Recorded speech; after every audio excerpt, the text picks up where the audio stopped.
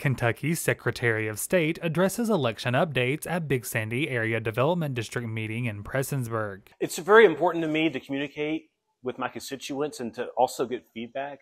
And so I make a point to get all around the state as much as I can, get out of the state capitol building, go out and meet the people, go to public events, go to official events like this.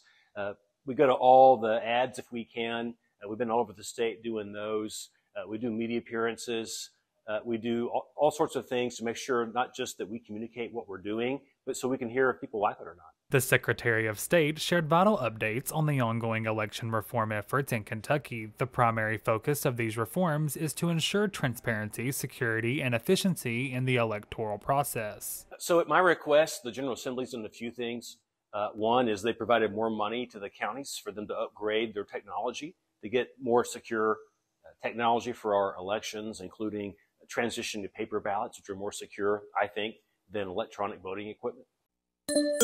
Are you ready for a new school year? What better way to start a new school year off right than with a new device on the network that keeps our students and teachers connected? Appalachian Wireless. Whether you need a new smartphone, wearable, or an iPad, we have your back to school solution. Visit AppalachianWireless.com or go into one of our 26 retail locations for our back to school deals that'll help you show up and show out this school year. We are you. We are Appalachian Wireless. In a bid to enhance the election process, the Secretary of State set a firm deadline for a significant change by the close of 2023. We've already met that deadline, and when we vote for governor and other offices uh, in November, every ballot in Kentucky will be on a piece of paper. The paper ballots themselves will be processed by advanced counting machines, ensuring accuracy and efficiency. Uh, we hand count uh, select ballots uh, at random and make sure that the machine is counting them correctly.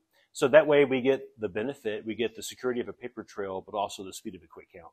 Despite the positive developments, concerns about election security have arisen in light of recent threats targeting the November elections. It's always a concern. Uh, it's very frustrating. Uh, there has been somewhat of a veiled threat uh, by the so-called pillow guy uh, to send people to our polls uh, and potentially be disruptive. We'll be prepared for that if it happens. I don't think that it actually will. But if it is uh, going to happen, we'll be ready for it. As the Secretary of State continues to gather insights from communities across Kentucky, the collaboration between government officials, election boards, and citizens remains a crucial component in ensuring a fair and transparent election. Reporting from Mountaintop News, I'm Ethan Miller.